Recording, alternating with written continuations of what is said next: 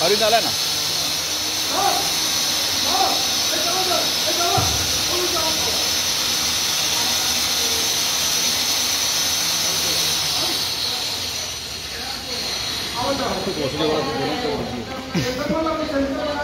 दोघंही बोलत असेल वैकेंसी